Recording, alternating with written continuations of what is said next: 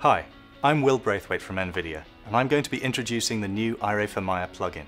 If you're not familiar with Iray, it's our physically based renderer. It traces light paths in order to create accurate light and material simulations.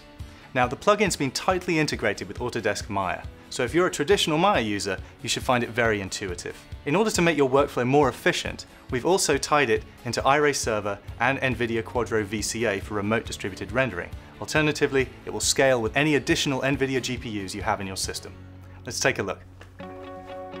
So we'll begin by changing our renderer to the Iray Photo Real render, and we'll start a new IPR session. Now, the viewport's render is actually the render camera, so as soon as I move the viewport and tumble around, we should see an update immediately, completely interactive. Now Iray lets you work like a photographer, taking a picture of a digital world. So a lot of photographic workflow elements are here, such as changing exposure or adjusting the gamma. This will let you modify the gamma of what you see in the render view without changing your linear workflow. We can also change things like depth of field, in the typical way adjusting Maya camera attributes. Now let's look at materials.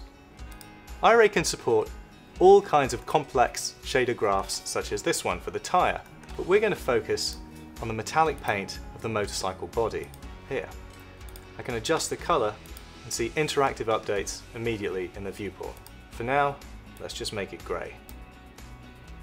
Incidentally, this metallic paint comes from the vMaterials catalogue, which is a freely downloadable library of physically verified materials from nvidia.com. You simply install it and it will appear in this list in Iray for Maya. So what about lights? Well, we have some synthetic lights here to highlight certain lines of the motorcycle, but we also have an image-based light with a high dynamic range environment map in the background. We can change the environment and we can rotate and reposition it instantaneously, seeing a very fast update in the viewport. Let's change it back for now. Now, if your image-based light correctly represents the environment, then the results you see on screen should be practically indistinguishable from reality.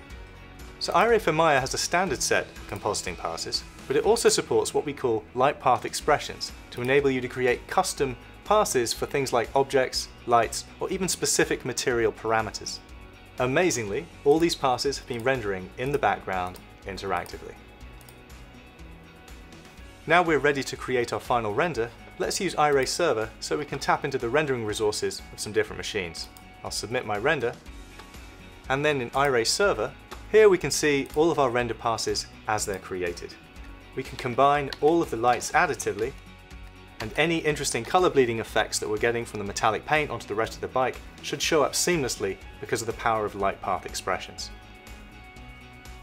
Thanks for taking the time to see this quick tour of Iray for Maya please go to nvidia.com to download a 90-day free trial. Download the plugin, try it out with your own content, and please don't forget to visit the Advanced Rendering forums for tips and support. Thank you.